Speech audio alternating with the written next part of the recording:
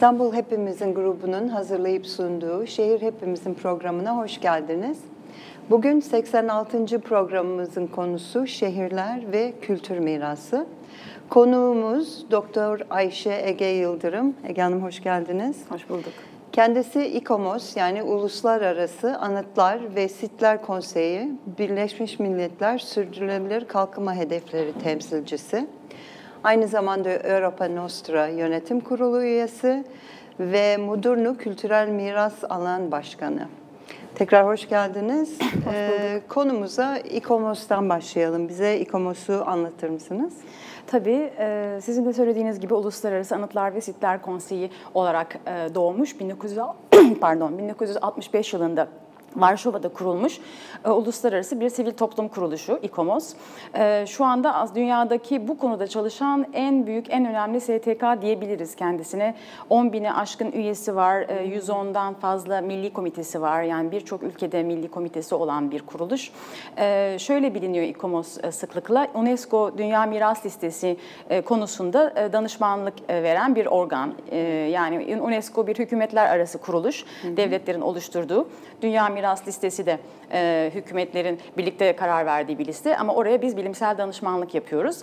E, onun dışında da e, bir şekilde kültür mirasının korunması, yaşatılması konusunda e, bilimsel alışveriş, e, işte görüş alışverişleri, e, teorilerin, ilkelerin geliştirilmesi gibi e, dünyada saygın bir uzman kuruluş kendisi. Peki e, kültür mirası deyince e, çoğu zaman aklımıza binalar geliyor ama sanırım kavram bundan daha geniş. Bu Nasıl başladı, nasıl gelişiyor? Bugün bir değişim söz konusu mu? Hı hı. Ee, aslında toplumlar, insanlar e, her zaman baştan beri e, binaları, şehirleri yeniden kullanan, e, eskileri değerlendiren, işte antik malzemeleri alıp yeni evler yapan e, bir şekilde yaşadılar. Ama koruma dediğimiz şey e, çok daha modern bir kavram. Yani modern dönemde, yani endüstri devriminden sonra çok hızlı e, yıkımlar olduğu zaman şehirlerde o dönüşüme bir tepki olarak doğdu. E, bir şekilde geçmişimize sahip çıkmalıyız. İşte bazı şeyler çok hızlı değişiyor ve kayboluyor. E, kaygısıyla e, ilk önce e, daha ufak e, objelerden, işte e, arkeolojik e, buluntulardan, eserlerden, işte e, antikite dediğimiz dönemlerden kalan eserleri koruyarak başladı. Ee, Avrupa menşeli daha çok bu teoriler fakat e, Türkiye'de, Osmanlı'da da e, çok yakından takip edildi. Bu bizim de 19. yüzyıldan kalma Asar-ı Atika nizamnamelerimiz var. Yani eski Hı. eserleri korumak için 100 yıla aşkın bir koruma geleneğimiz var. E, yani böyle taşınır e, eserlerle başlayıp, arkeoloji ağırlıklı başlayıp zamanla e, genişledi kavram dediğiniz gibi. Mimari eserler, anıtlar, daha sonra e, kentsel çevreler, kentsel dokular, anıtsal olmayan daha mütevazı binaların oluşturduğu sivil dokular, kent dokuları bunlar da gündeme geldi. Çevre ölçeği genişledi. Bugün artık bunun da çok ötesine geçmiş durumdayız. Hmm. Çevre ölçeğinde peyzajlardan bahsediyoruz. Kültürel peyzaj, doğayla insanın birlikte ürettiği ve evrildiği e, büyük çevreler bunlar. E, doğanın yeri çok e, öne çıktı. Aynı zamanda insanın yeri. Yani e, sadece e, ölü bir objeyi korumuyoruz, insanla yaşıyor e, fikri artık yatsınamaz olduğu için hem yaşayan bir miras olarak binaların, objelerin, eserlerin korunması, onu gelenekleriyle, onu kullanan insanlarla, toplumlarla birlikte koruma fikri artık yerleşti.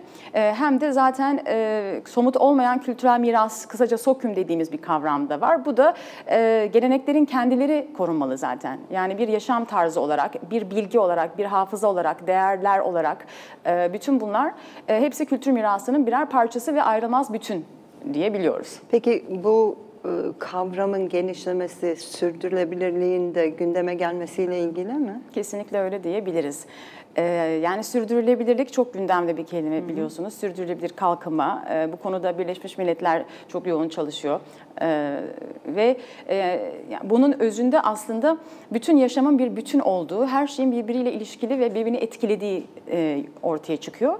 Biz de kültür mirasını aynı gözle e, artık ele aldığımız için yani toplumun geneline, hayatın geneline nasıl e, entegre oluyor, nasıl e, katkıda bulunuyor? Yani hayatımızın kalitesini aslında artıran bir şey olarak çok daha geniş, daha sosyal bir perspektiften bakıyoruz. Yani o baştaki dediğimiz evrilmiş eski koruma anlayışında dokunulmaz sadece müzelerde olan ya da sadece restore edilip bakılan dışarıdan bir takım eserler gibi algılanır. Ama artık öyle değil. Toplumun sahiplendiği, kullandığı, sevdiği ve kimliğinin, benliğinin bir parçası olduğunun farkına farkında olduğu e, şeyler bunlar. E, o şekilde aslında sürdürülebilir kalkınmayla yakından ilişkili. Hı hı. E, böylece de sizin Birleşmiş Milletler'deki görevinize gelmiş oluyoruz. 2015'te kabul ediliyor sürdürülebilir kalkınma hedefleri. Sizin şeyi alabilir miyiz? Sanırım ikinci görsel. Evet. Ee, burada işte kalkınma hedeflerinin konularını görüyoruz. Bunlar 2015'te e, Birleşmiş Milletler üyeleri tarafından oy birliğiyle kabul edildi. Amaç da küresel olarak kapsayıcı kalkınmayı sağlamak. Bu 17 konunun da 169 hedefi var. Sizin göreviniz bu hedeflerle ilgili nedir? Bunu bize biraz anlatın lütfen. Tabii. Ee, sonuçta ben İKOMOS tarafından görevlendirilmiş birisi ve bir İKOMOS üyesi olarak kültür mirası konusunun e, lobisini yapmakla ve bunu koordine etmekle görevliyim. Bir uluslararası çapta görevliyim. Yani ben doğrudan İKOMOS Uluslararası Merkeze e, rapor veriyorum, Paris'e rapor veriyorum. Ama İKOMOS Türkiye Milli Komitesi ile de çok yakından çalışıyoruz. Hı hı. Ee, sağ olsunlar Milli Komitemiz çok e, güçlü ve destekleyici, çok Güzel. iyi bir komitemiz var. E, Türkiye'de çok ciddi bir uzmanlık e, kapasitesi var zaten. E, ve İKOMOS üyeleri arasında e, bizim konumuz kurumumuzun duayenleri hep var zaten. Birlikte çalışıyoruz. Ee, uluslararası ölçüye dönecek olursak e, şu anda biz Birleşmiş Milletler Sürdürülebilir Kalkınma Gündemi'nin e, önemli toplantılarına, önemli tartışmalarına katılıp bunları izleyip e, nasıl kendi konumuzla e, bunu daha güçlü bir şekilde ilişkilendirebiliriz. Hani onu araştırıp hani o konuda e, çalışma yapıyoruz. Hı hı. E, bilinçlendirme çalışması, politika belgelerine etki etme, oraları e, besleme, bizim bilgi bilgilerimizle katkı verme e, gibi e, çalışmalar. İşte geçenlerde daha yeni e, New York'ta bir toplantı oldu. E, Birleşmiş Milletler Üst Düzey Siyasi Forumu olarak geçiyor. E, bu üst, üst düzey siyasi forum e, ECOSOC yani Ekonomik ve Sosyal İlişkiler Konseyi'nin düzenlediği bir şey. Bu Birleşmiş Milletler Güvenlik Konseyi vardır. Bir de bu konsey vardır. Yani çok önemli iki organ bunlar BM'de. Bir de genel kurul var. Yani bunları da öğreniyoruz işte gittikçe geldikçe. Yani üst düzey siyasi forumda bulunmak çok önemli oldu bizim için. Çünkü bütün dünya orada, bütün konuları konuşuyorlar. Biz kültür mirası olarak bu okyanusun e, ufak bir damlası gibi kalıyoruz bazen. Çünkü iklim değişikliğinden bahsediyoruz. Sürdürülebilir sürdürülebilir tüketim anlayışından, işte okyanusları kirleten plastiklerden bahsediyoruz, doğal yaşam efendim benzin ve e, kömür e, kaynaklı yakıtların nasıl çevreye zarar verdiği, hava kalitesi, kentleşme, efendim gece kondulardaki yaşam standartları, kadın hakları, çocuk ölümleri, beslenme o kadar çok konu var ki. Hani bunlar bazıları çok temel ve acil görünüyor. Bunlar hı hı. arasında kültür mirası sanki bir lüks gibi görünüyor. Halbuki biz onun bir lüks olmadığını, bunun çok temel bir bileşen olduğunu anlatmaya çalışıyoruz. Peki e, hedeflere baktığımızda nasıl e, giriyor bu konu? Evet, e, tabii her şeyle ilişki kurulabildiğini biliyoruz aslında içimizden ama bunu anlatmak bazen zor oluyor. Yani hı hı. biz bile e, bir keşif yolculuğundayız. Kültür mirasının topluma nasıl faydalı olduğunu ve toplumsal hareketlerin e, nasıl kültür mirasının korunmasına e, karşılıklı olarak fayda e, ya da zarar verdiğini araştırırken hani bunun çok çeşitli yolları olduğunu görüyoruz. Yani her bir 17 hedefle ilişki kurabiliriz aslında. Hı hı. Fakat bir yandan da kendi başlığımız var. Bu çok önemli oldu bizim için. Şimdi 17 hedeften bir tanesi 11. hedef. Biz bir sonraki görseli rica edelim. Şimdi evet. burada gördüğünüz gibi e, en soldaki 11. E, turuncu logo e, sürdürülebilir kentler ve yerleşimlerle ilgili bir hedef. Hı hı. Bu siz de bahsettiğiniz 169 alt hedef var. 11. şehirlerle ilgili hedefin alt hedeflerinden de bir tanesi 11.4 doğa şöyle dünyanın doğal ve kültürel mirasının korunması çabalarının güçlendirilmesi alt hedefi var. Hı hı. Biz 11.4'e sıkı sıkı sarılıyoruz. O bizim kalemiz. Hı hı. Ve böyle bir kendi alt hedefiniz olması e, gündemde daha kolay e, yer edinmenizi sağlıyor. E, yani bir yandan biz e, şehirler ve kültürel doğal miras e, konusunu e, e, tartışmaya odaklıyız. Fakat bir yandan da sadece 11.4 değil, 11.1, 2, 3, 4, 5, 6, 7 e, aynı zamanda sadece 11. şehir hedefi değil, hedefi değil. Bütün 17. hedefler, e, bazı hedefler özellikle bizim için önemli. Mesela 12. hedef var, tüketim üretim alışkanlıkları. Burada kaynakların e, daha akıllıca değerlendirilmesi meselesi olduğu için mesela biz de diyoruz ki kültürel miras bir kaynaktır. Bunu doğru kullanalım. Yani yıkmayalım, yeniden kullanalım. İşte eski binaları işlevlendirelim. İşlevi bitmişse yeni işlevler bulalım. Onları korumaya devam edelim, kullanmaya devam edelim. Bu aslında bir tüketim üretim e, alışkanlığı. Bu 12. hedefe ait. Onun dışında e, 13. hedef çok önemli. İklim değişikliği mesela. E, burada da e, kültürel mirasın aslında bir alarm sinyali veren çok hassas bir şey olarak iklim değişikliğini izlemeye, etkilerini e, anlamaya yönelik bir araç olduğunu düşünüyoruz. Yani ilk önce onlar etkileniyor en hassas şeylerden biri kültürel dokular olduğu için özellikle kıyılardaki kentsel dokular. Bir sürü ülkede dünyada ada devletlerinde özellikle bu eski eserler arkeolojik eserler çok çabuk yıpranıyorlar. İşte dalgalardan iklim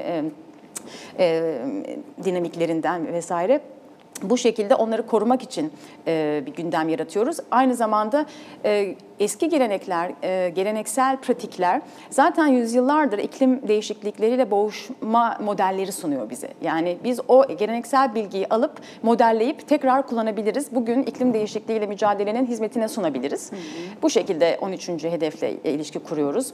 E, onun dışında 16 çok önemli. 16. hedef e, barış ve iyi yönetişim, adalet, iyi kuvvetli kurumlarla ilgili bir şey.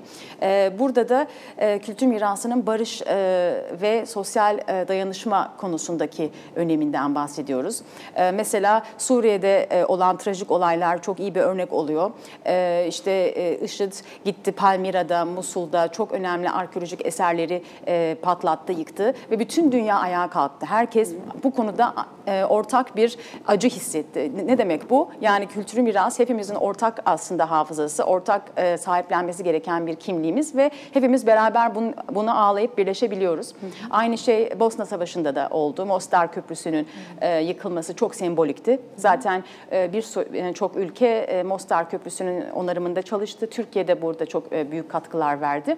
E, ve yeniden e, o köprünün kurulması e, aslında barışın yeniden tesis edilmesi, toplumlar arası diyaloğun yeniden tesis edilmesi e, şeklinde e, bir semboldü ve hemen UNESCO Dünya Miras Listesi'ne zaten alındı. Peki şimdi e, biraz daha kentlere odaklanalım. E, kültür mirasının kent yaşamına e, yansıması nedir? Nasıl bir katkı sağlayabilir? Bu konuyu biraz açalım. Tabii. E, Kültür mirası özellikle kentsel doku ve çevresel e, ölçüye çıktığı zaman e, kentin e, çok ciddi bir e, parçasını ve e, oranını oluşturuyor zaten. E, Şimdi geleneksel planlamada işte mesela Türkiye'de bir sit alanı ilan edip onun işte çevresini adeta çitle e, sarıp hiç dokunmama gibi bir algı e, vardır. E, bu da aslında e, şehrin genel gelişimi, imarıyla onun biraz yabancılaşmasına sebep oldu. Hmm. E, burada da biraz e, korumanın kendi e, içindeki zorluklar sebep olmuş diyebiliriz. Yani e, eski eserleri onarmak daha e, çok e, hassasiyet istiyor, özel uzmanlık istiyor, daha çok para, daha çok zaman istiyor. Bir sürü yasaklar var. İnsanlar bu yasaklardan bıkmıştı aslında. İşte bir çivi bile çakılmaz gibi bir söylem yerleşti vesaire. Aslında bu çok yanlış algılama meselesi. Çok daha iyi olabilir bu, bu ilişki. ve eğer planlama doğru yapılabilirse ee, yani koruma planlama sürecinin içsel bir parçası, baştan kabul edilen ve e, işletilen bir parçası olursa zaten o zaman kültürel mirasın dokunması daha kaliteli yaşam çevreleri, daha sağlıklı şehirler, daha yürünebilir şehirler, daha sık dokulu böylece enerji konservasyonuna yarayan dokular hı hı. mesela. Ee, onun dışında e, yine kıyılardan bahsedebiliriz. İşte kıyıyla olan ilişkimiz tarihi dokularda çok güçlü. Yani bunları modern altyapıyla bozmadan, koparmadan, e, karayolları ve e, lastik tekerlekli araçlar mesela bu ulaşım altyapısı da çok ciddi bir e, sorun sorundur her zaman dokuların korunmasında. Yani bütün bunları daha hassasiyetle ve koruma felsefesiyle ele alırsak o zaman daha kaliteli kentler, daha kaliteli bir yaşam olacak aslında. Hı hı. Ve koruma sadece fiziksel bir şey olmadığı için artık sosyoekonomik tarafından bahsediyoruz. E, şuna da değinelim burada. Sürdürülebilir kalkınmanın üç temel e, ayağı vardır denir. İşte hı hı. sosyal, ekonomik, çevresel. Hı hı. Biz aslında bir kültürel ayağı da olduğunu söylüyoruz. Yani bunu nasıl e, ifade edersiniz? Hani tartışılır dördüncü bir ayak olsun diyenler var. Bu bir çemberdir, hepsini çevreleyen bir şeydir diyenler var ama sonuçta bir kültürel tarafı da var bunun. E, ve o sosyoekonomik ilişkiler açısından baktığınız zaman e, korunmuş kent dokuları insanların daha e, aktif olarak kullandığı, sahiplendiği, oradan para kazandığı yani gerçekten e, hayatının anlamlı ve işlevsel bir parçası olduğu zaman e, yani çok daha başarılı oluyoruz. E, bu e, hem aslında gayrimenkul fiyatlar açısından, gayrimenkul e, endüstrisi açısından bir kaynak. Yani e, iyi koruma yapıldığı zaman, iyi işlevlendirildiği zaman çevreye de e, ekonomik bir zenginlik, bir değer katıyor. Aslında e, şöyle de düşünebilirsiniz yani boğaz manzaralı bir yalının daha değerli olduğunu. Neden? Bu değer bazen ölçmek zor oluyor. Bütün bunları kantifiye ettiğiniz zaman yani e, bunun e, sayısallaştırılmasını daha iyi becerdiğiniz zaman yatırımcılarla daha iyi diyalog kuruyorsunuz ve e, koruyarak uzun vadede özellikle herkesin daha çok şey kazanacağını hem maddi hem manevi olarak daha çok şey kazanacağını e, anlamaya ve anlatmaya çalışıyoruz. Hı hı. Ve e, Biraz somut örnekler verebilir miyiz? Mesela bu e, kültür mirasının konu, korunmasıyla ilgili e, sadece maddi değer değil de başka e, atıyorum mesela bu kent aidiyeti E, toplumları birleştirici bir unsur olarak nasıl ortaya çıkıyor, çıkabiliyor? Evet.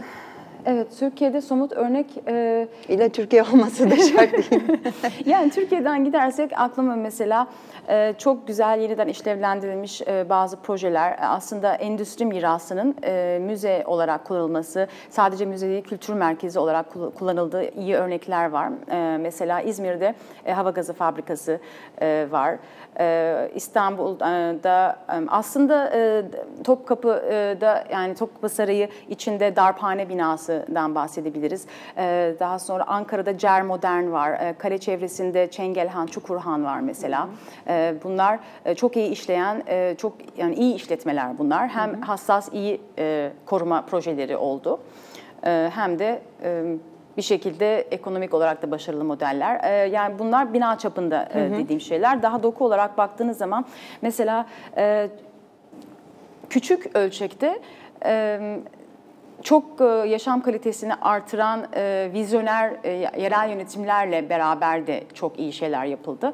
E, Küçük örnek dedim Seferihisar mesela e, yavaş şehir, sakin şehir ağının Türkiye'deki merkezidir. Şimdi Hı-hı. Türkiye'de 15 adet sakin şehrimiz var. Città Slow deniyor bunlara aynı zamanda. Hı-hı. İtalya menşeili bir ağın parçasılar. Seferihisar'da mesela lavanta festivalleri yapılıyor. İşte e, bölgeden çok çeşitli uzak yerlerden oraya o festivallere katılmaya gelenler var. Ot festivalleri işte Çeşme'de, Urla'da gördüğümüz gibi hı hı. şeyler. Bunlar, bunlar artık sadece binalar değil işte oranın tarımsal düzeni. Muğla'da Atölye 1 projesi oldu. Gaziantep'te de şehir ölçeğinde e, 2004'lü yıllardan itibaren e, Büyükşehir Belediyesi'nin öncülüğünde e, kültür yolu projesi, işte Bakırcılar Çarşısı onarıldı. Bir sürü müze açıldı. En son açılan 17. 18. müze olabilir Gaziantep'te son 10 yılda Hamam Müzesi açıldı mesela. Evet. Şimdi bir de e, tasarım e, mağazaları açılıyor artık. Sadece geleneksel zanaatlar değil, bunların modern, e, daha inovasyon temelli, işte bugüne e, daha e, uygun kullanımlarla yeniden yaratılmaları gibi. Yani geleneksel motifleri alıp çok daha e, trendy, daha e, işte modaya uygun ürünler e, yapılıyor. Bunlar tescilleniyor. Aslında Beypazarı'nın aklımıza gelebilir. Beypazarı da çok başarılıdır. Geleneksel e, ürünleriyle işte Beypazarı kurusu vardır. Hepsini tescillediler onlar. E, e, mücevher zanaatları, e, mücevherler orada e, çok telkari Beypazarı'nda mesela çok e, başarılıdır. E, tekrar Gaziantep'e dönersek şimdi biz orada bir tasarım mağazasına girdik. Çok da butik eserler var orada gerçekten. E, yani çok e, zengin e, kesime de hitap eden, aynı zamanda daha mütevazı kesime de hitap eden Safranbolu'da öyle dükkanlar görüyoruz, Aras'ta da. Yani örnekler çoğaltılabilir. Ben şu anda biraz e, aceleyle bir şeyler söylüyorum bu konuda. Peki e, yine döneceğim bu e, insanlarda bir aidiyet duygusu yaratma açısından e, hani ekonomik Evet. e, alandan kayarsak biraz. Evet. Evet aslında e, kültür mirasının e, somut olmayan tarafından bahsettik. Nasıl e, aslında e, içinde yaşayan insanlar ve e, toplumlarla birlikte e, anlamlı olduğu ve e, bazen çok büyük dayanışma unsuru oluyor bunlar. Türkiye'de de çevrelerini korumak için bir araya gelen, bazen büyük mücadelelere giren kesimler görüyoruz. Yani İstanbul'da da bunlardan çok örnek var. Daha doğal, kırsal bölgelerde de var. İşte bazen bir takım çevreye zarar veren yatırımlar, enerji santralleri, işte kömür termik santraller bu konularda e, bir araya gelen e, çok ciddi örgütlenen e, kesimler var. Yani bunlar insanlara aslında çevrelerini ne kadar değerli olduğunu hatırlatıp yani sahiplenme güdüsü veriyor. Onun dışında aslında günlük hayatımızda e, fark etmediğimiz şekilde her zaman o kültürel doku var. Yani her zaman bir kriz zamanında e, can havliyle e, sahiplenmemiz e, gerekmese de biz daha çok günlük hayatımızda bunların değerini bilsek, e, onlar yok olmadığı yok yok olmadan aslında ne kadar yaşam kalitemize faydası olduğunu anlayabilsek, bu da biraz bilinç meselesi. Çok e, iyi çalışan dernekler var. İstanbul'da yine e, çok çeşitli semt dernekleri var. E, bir araya gelip e, hem bilgilendirici seminerler, etkinlikler düzenliyorlar. Bazen dava açıyorlar e, korumak için bazı parkları, bazı projelerle ilgili. E, ve oralarda yaşam e, daha cazip oluyor. O mahalleler daha e, aslında gözde oluyor. E, eğer dokusunu daha iyi koruyan mahallelerse. Yani bir yandan çöküntü bölgesi de e, olmaması gerekiyor. Böyle alanlar aslında çok büyük potansiyel barındırdığı halde çok sık yeterince ekonomik girdi olmadığı için çöküntü bölgesi olarak ele alınıyorlar. Aslında orada doğru yatırımlar, hassas yatırımlar yapıldığı takdirde e, çok daha e, canlı, başarılı hem ekonomik hem sosyal açıdan yaşa- yaşanılabilir yerler olabiliyorlar. Ee, tabii kültür mirasından bahsedince turizm konusu da gündeme geliyor. Ee, bunun artıları olduğu gibi bugün Avrupa'da Venedik olsun, Barcelona olsun artık eksileri daha çok öne çıkmaya ve halkın tepkisine e, neden oluyor. Bu konuda neler söylersiniz? Evet, turizmde aslında e, şimdi denge meselesi e, var burada. E, korumada hassasiyet e, lazım demiştik demin. E, o hassasiyet aslında koruma ve kullanma dengesini gözetmekle ilgili bir hassasiyet. Ve turizmde de bu çok çok geçerli. Turizm ve koruma dengesi, turist ve vatandaşın ihtiyaçlarıyla em, olan denge. E, turizmle ilgili güzel bir söz var. E, turizm bir ateştir. Ya ocağınızı yakar, o çorbanızı ısıtır ya da evinizi yangınla kül eder. Yani o dozaja bağlı ve kontrol altında olması iyi yönetilmesine bağlı. E, turizmin e, artık kontrolden çıktığı ve e, yerel dokuyu, yerel yaşantıyı e, tehlikeye attığı durumlarda özellikle daha e, eğitimli, bilinçli ve bu konuda örgütlü bazı şehir e, toplulukları yani bazı vatandaşlar e, bu konuda artık e, karşı çıkmaya başlıyorlar. Yani Venedik dediniz, işte Barcelona, Dubrovnik e, ünlü bir örnek e, Hırvatistan'da.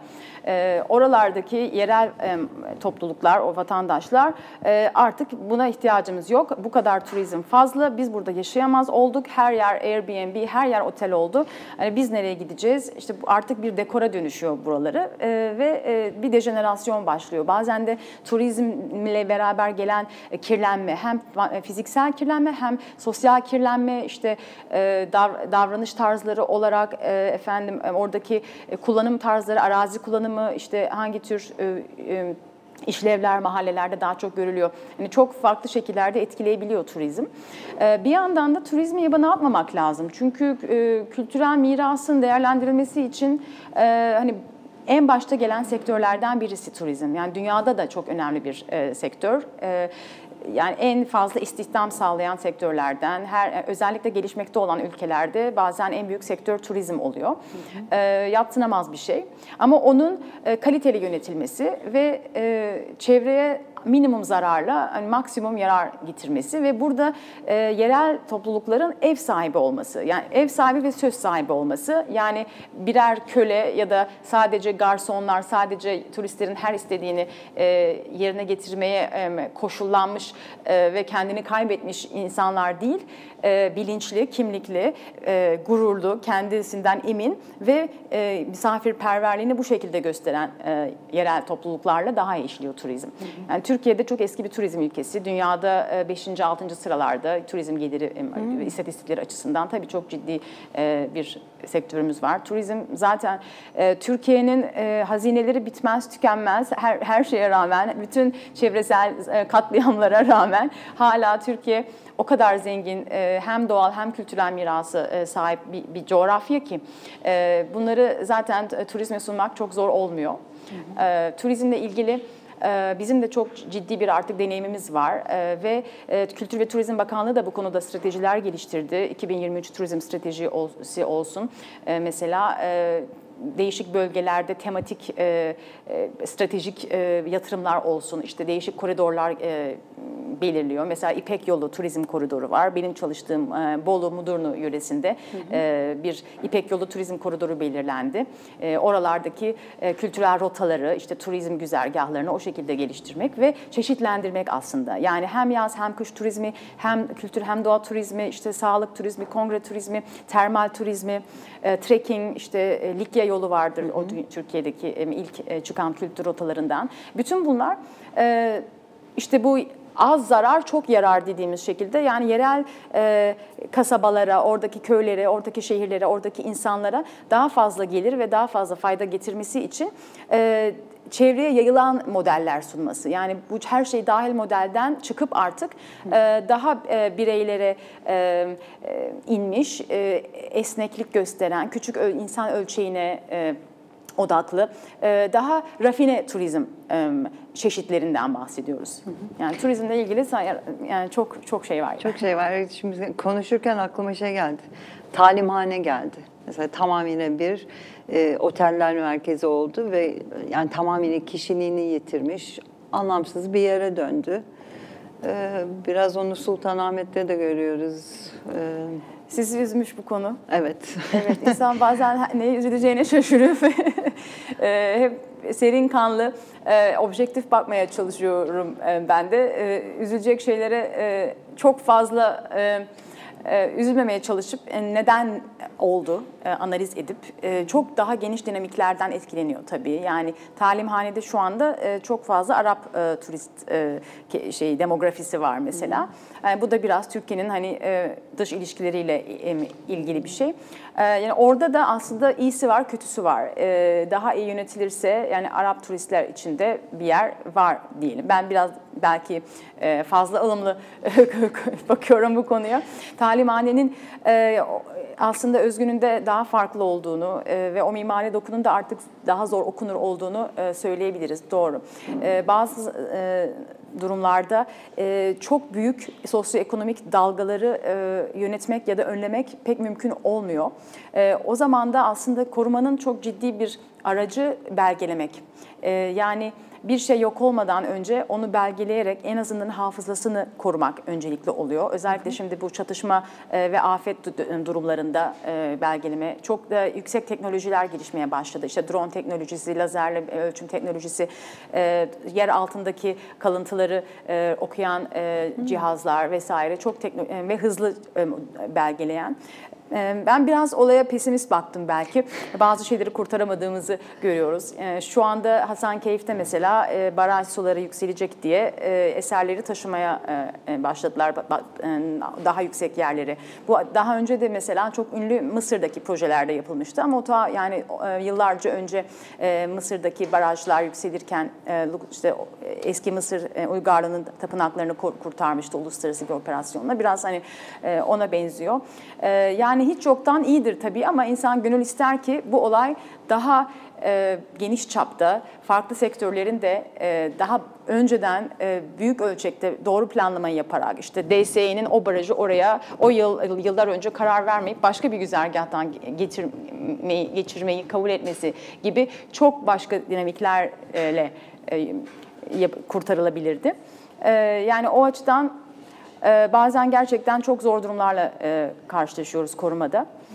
Ama e, sizin e, sorunuza tekrar başına dönüp de daha iyimser bir cevap vermek gerekirse talimhane ile ilgili şu var. E, şehirler Özellikle eski şehirler çok dirençli ve dayanıklı. Ee, şimdi bu Birleşmiş Milletler Sürdürülebilir Kalkınma Hedeflerinin e, böyle çok e, moda e, terimlerinden birisi de resilience, dirençlilik, dirençli şehirler. Kültür mirası da şehirleri dirençli kılan bir şey aslında ve mesela İstanbul gibi bir şehire baktığımız zaman ya da Anadolu'nun birçok şehrine baktığınız zaman inişli çıkışlı dönemler oluyor. Ama o şehirler hala orada. Yüzyıllardır yaşıyorlar. Bazı dönemler kötü. Bir şeyler kayboluyor, bir şeyler onun yerine geliyor. O yerine gelen şeyler de değer kazanıyor. Ee, ya da bazı şeyler sonradan ortaya çıkıp değerleniyor.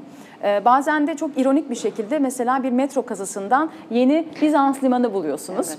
E, yeter ki o e, altyapı projesi yapılırken hukuka uygun bir şekilde işte müze denetiminde gerekli zaman verilerek yapılsın. E, Atina'da çok güzel bir örneğini gördük. Metroda, e, metro sırasında çıkan ortaya e, arkeolojik kalıntılar sergilenen adeta bir e, müze gibi bir metro istasyonu. Yani bu şekilde de yapılabiliyor hayatta. Hı hı. E, yani e, her zaman iyi ile kötü bir devrim içinde beraber oluyor. E, ben böyle e, daha serin kanlı e, bakmaya çalışıp e, çok moral bozmadan e, yapılabilecekleri e, yaparak ve e, yılmadan e, kendi e, bilinçlendirme çalışmamızı, kendi teknik e, hizmet e, çalışmalarımızı e, yapmaya devam etmemiz gerektiğini düşünüyorum. E, bazen insanlar e, çok demoralize oluyorlar kayıplarla ilgili. E, bir yandan da şuna gelebiliriz burada diyalog konusuna. E, çok polarize olduğumuz, çok çok e, cepheleştiğimiz oluyor açıkçası. E, karar verme organları ve sivil toplum arasında. Aslında e, işbirliği fırsatlarını hep yakalayıp e, diyaloğu tamamen koparmamak gerekiyor. İKOMOS mesela e, Kültür ve Turizm Bakanlığı ile çok e, e, yakın bir ilişki içindedir. Yani e, her ne kadar bazen tartışırsak da e, oluyor böyle şeyler. E, her zaman e, bir diyalog e, sürer, e, danışma süreçleri, toplantılar sürer. E, biz üstümüze düşeni doğruyu söylemeye ve karar vericilerin de e, olabildiğince e, bizi dinlemesi ve yanına alması için e, işbirliği e, olumlu işbirliği şekli, e, tavrıyla hareket etmeye çalışıyoruz. Hı hı. E, yani her zaman e, politikada, yönetişimde hani anlaşamadığınız konular, anlaşabildiğiniz konular oluyor. Bir ba- başka bir örnek verebilirim. Doktora tezim sırasında Gaziantep'te Mimarlar Odası'da çalışan bir e, Zafer abimiz vardır. O Zafer Bey'in e, verdiği örnek. Bir yandan Avrupa Birliği projesini Büyükşehir Belediyesi ile Mimarlar Odası e, mesela e, atıyorum AB projesi olmayabilir ama o, o tip bir projeye birlikte ortak olarak giriyorlar. Bir yandan da Mimarlar Odası Büyükşehir Belediyesi'ne dava açıyor. Yani aynı aktörler birbirleriyle hem negatif hem e, pozitif ilişki içine girebiliyorlar. Evet. yani burada önemli olan bunun ötesini görebilmek, büyük resmi görebilmek ve yılmadan çalışmaya, anlatmaya devam etmek. Buna e, katkı olarak şimdi kültür mirası yaşantımızın e, çok önemli bir parçası. Daha doğrusu kültür diyelim. E, bu bahsettiğiniz diyaloglara evet e, İKOMOS, evet karar vericiler ama halkın da bir şekilde bu diyaloglara katılmasının önemini de burada vurgulamamız gerektiğini düşünüyorum. Hatta e, sürdürülebilir kalkınma hedeflerinin uygulanması konusunda da hep e, şey vurgulanıyor. Yani yerel yönetimler, e, halkın katılımının da bu kararlara katılmasının önemi, yeni yönetişim biçimleri gerektiği. Tabii Kesinlikle. o konu e, daha yani, başka yerlere götürüyor ama. E, e, Evet, korumada da e, kent politikaları, kentleşme e, stratejileri, metodu, metotları arasında katılımcılık artık dediğiniz gibi e, olmazsa yerleşmiş. Olmazı. Olmazsa olmaz bir tabii, şey. Tabii. E, ve yani Türkiye'de e, biraz yine daha geniş açıdan sivil toplumun e, gelişim tarihine de bakmak lazım. Yani e, bazı dönemlerde sivil toplum daha güçlü oldu. Mesela işte 1990'larda işte 80 darbesinden ayıldıktan sonra işte yeni dernekler, vakıflar kuruluyor. İşte Mimarlar Odası, Şehir Plancıları Odası, bu kent konularında çalışan e, meslek örgütleri e, çok e, sağlıklı ve aktif e, çalışmalar içinde oldukları bir e, çizgi içindelerdi. E, yani 2000'lerde de sürdü bu. Şimdi şu son dönemde tökezliyoruz açıkçası. Yani sivil toplum e, o kadar aktif değil e, diyebiliriz. Yani bunlar biraz yoruma açık belki e, ama sonuçta Türkiye'nin yine de her şeye rağmen bir sivil toplum deneyimi var. Çok dediğim gibi daha önce uzmanları var ve koşullar el verdiği zaman e, bu sivil toplum e, çalışmaları daha etkin oluyor. Ee, yine inişli çıkışlı dönemler oluyor. Ee, tekrar e, o bahsettiğim eski zamanlardaki gibi daha etkin bir hale geleceğine inanıyorum ben uzun vadeli baktığımız zaman. Ee, yani bu sivil toplum e, meselesi eğitimle çok ilgili. Ee, yani hem e, eğitimli hem e, bilinçli hem de buna vakit ayıracak kadar fedakar yani bu işler çok gönüllülük isteyen işler. E, biraz da aktivist ama bir yandan diyalogcu. Yani hani bu insanların çalışmaya devam etmesiyle bir şekilde yani sivil toplum geleneğimizi de yabana atıp kaybetmemeliyiz. Yani bir şekilde o alttan alttan e, evrilmeye devam e, ediyor. Çok arkadaşım var sivil toplum işte, kurumlarında çalışan. Yani ben de o ortamdayım. Hı hı. Benim hani şahsen e, devlet kurumlarıyla da çok e, yakın e, çalışmalar oluyor. E, iki tarafı da görüyorsunuz. Hı hı. E, ve e, bir şekilde e, iyimser olmak lazım diye düşünüyorum. İyimser o, olacağız. Neyse peki e, şimdi önümüzdeki süreçte bu kültür mirasının karşısına çıkacak ne gibi e, zorluklar veya değişimler öngörüyorsunuz?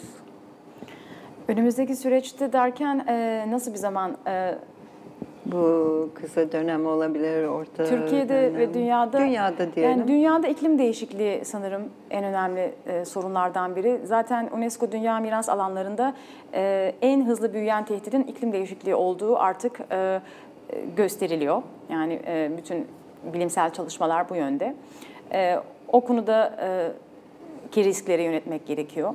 Bir yandan e, hem doğal hem insan yapımı afetler, savaşlar, çatışmalar, e, işte biz de zaten çok zor bir coğrafyadayız. Hani çevremizdeki ülkelerdeki savaşlar e, vesaire baktığınız zaman. E, bunlar büyük tehditler. E, şu anda risk yönetimi çok önemli bir konu. Nasıl riskleri yönetiriz? Yani hem çevresel, iklimsel olsun hem insan e, kaynaklı olsun yani çok çeşitli riskler var. E, bizim İKOMOS'ta e, risk yönetimi komitemiz çok güçlüdür. Zeynep Gül Ünal hocamız vardır. O genel sekreteri risk komitesinin. Çok güzel projeler yapıyorlar. Şimdi mesela iCorp on the road, yolda, İKOMOS yolda gibi bir projeleri var. İşte Nepal'deki depreme gittiler. Deprem sonrasındaki yeniden yapım faaliyetlerinin videosunu çektiler. İşte şimdi sırada e, hangi ülke var? E, Hindistan'da bir yer olabilir. İşte e, bizim Balkanlarda olabilir vesaire. E, bu şekilde e, çok ciddi olarak eğildiğimiz bir konu risk yönetimi. E, onun dışında e, yani aslında koruma sektörünün de korumacıların da e, önündeki e, ufuk e, açılmak oluyor bence. Yani e, hem başka sektörlerin hani bunu bir koruma sektörü ve diğer sektörler olarak görecek olursak koruma dışındaki sektörlere kendimizi anlatmak e, ve onların bilinçlenmesi gibi bir fikir e, varken aynı zamanda aslında korumacıların da kendini e, üstüne düşeni yapıp açılması, daha fazla e, toplumla angaja olması, işte iletişim stratejilerimizi geliştirmemiz, toplumla iletişim, diyalog kurmamız. Yani burada e, her yaş grubundan, her kesimden farklı e, vatandaşlara e, bu konuyu daha iyi anlatmak bizim görevimiz. E, bazen biraz uzman ve vatandaş e, çelişkisi de hissediyoruz. Halbuki o çelişkinin azalması, daha daha iyi anlaşmamız vatandaşlarla uzman olarak diyelim biz de vatandaşız zaten. Bence bu sosyalleşme konusu önemli. İşte 2015 gündeminden bahsettik. Yani 2030'a kadar 17 hedefin işte başarılması, o hedefe ulaşılmasından bahsediliyor. Aslında 2030 çok uzak bir zaman değil. Yani çok hızlı geçiyor. Bir de 2015'ten öncesi vardı. 2000 yılındaki 1000 yıl kalkınma hedefleri vardı. İşte eğer bakacak olursak aslında tarihsel sürece 2000 yılındaki e, bin yıl kalkınma hedefleri ya da MDG'ler, Millennium Development Goals. Oradan SDG'lere, Sustainable Development Goals, sürdürülebilir kalkınma hedeflerine geçtiğimiz zaman ne fark etti? İlk başta gelişmekte olan ülkelerin sorunlarına çok e, odaklanılıyordu. E, ve de e, yerelleşmenin yeteri kadar olmadığı fark edildi. Yani çok fazla üst düzey politikalarda lafta kalıyor. Politika belgelerinde kalıyor ama e, sahada, arazide, gerçek hayatta bunu uygulayanlara o e, inmiyor. O bu fark edildi.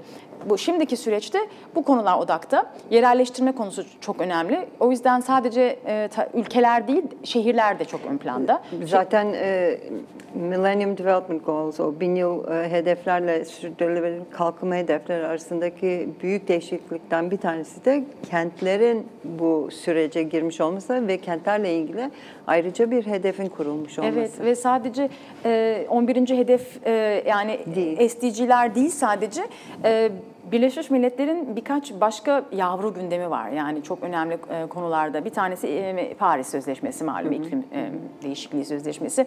Bir tanesi Sendai risk yönetimi. Bir tanesi Addis Ababa finansman. Yani özellikle gelişmekte olan ülkeleri desteklemek için nasıl finansman yapılır. Ama dördüncüsü habitat. Yani Evet. yeni kentsel Yeni kent, gündem. evet. Aslında onu baştan söylememiz gerekiyordu şehirler konumuz. Doğru, doğru. Habitat 3 üstelik hatırlarsınız 2000 e, 2000 dedim. 1900. Ee, 1996'da Habitat 2 İstanbul'da yapılmıştı.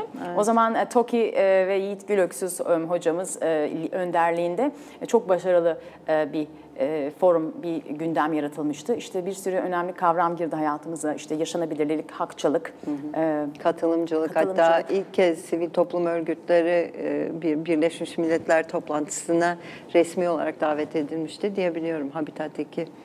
Evet. Bir de konut hakkı çok önemliydi. Yani konut sadece bir meta değil, bir barınak ve barınma hakkı herkesin, e, bütün dünyadaki insanların barınma hakkı, e, olması gereken bir hakkı. O da Habitat 2'de gündeme gelmişti. İşte 20 yılda bir yapılıyor bu zirveler. E, Habitat 1 Kanada'da, 76'da, Habitat 2 İstanbul'da, Habitat 3 2016 yılında Ekvador'un Quito e, başkentinde yapıldı. Orada da yeni kentsel gündem yani New Urban Agenda e, kabul edildi. Orada da kültüre ve kültür mirasına çok e, yer var aslında ayrılmış durumda. E, biz memnunuz hani o açıdan. E, şehirler e, tabii hala e, yeteri kadar ciddiye alınmıyor aslında. Yani BM sistemi e, taraf devlet ülkeler üzerine kurulmuş ve onu değiştirmek yani öyle hemen olacak bir şey değilmiş onu gördük. Ee, yine de bütün e, önemli BM forumlarında artık bir şekilde bir kentler forumu, işte yerel bölgesel yönetimler forumu yandan yapılıyor paralel olarak ya da o çok fazla şehir belediye başkanı gidiyor artık e, Evet. buralara ve e, şehirler konuşuyor artık. Özellikle mesela Barcelona, Berlin, e, Quito, e, İstanbul'u da görüyoruz arada bir. Ee, Yani, UCLG diye bir kurum var. Ee, Orada Birleşmiş görüyoruz. Şehirler ve Yerel Yönetimler. Onun e, Batı Asya ve Orta Doğu bölge e, merkezi İstanbul. Yani İstanbul çok destek veriyor bu, toplantılara. Yani toplantı düzeyinde çok başarılıyız. E, vaktimiz sanırım bitti. Tamam. E, konular aslında birbirini açıyor. Devam ederiz inşallah bu yönde. E, biz haftaya burada olmayacağız. Hepinizi şimdiden bayramınızı kutlamak istiyorum. Ege Hanımcığım siz de biliyorum çok yoğunsunuz. Vakit ayırdınız. Çok teşekkürler geldiğiniz için. Ben teşekkür ederim. E, bayram sonrası görüşmek üzere. Hepinize hoşçakalın diyorum. İyi, İyi günler. bayramlar.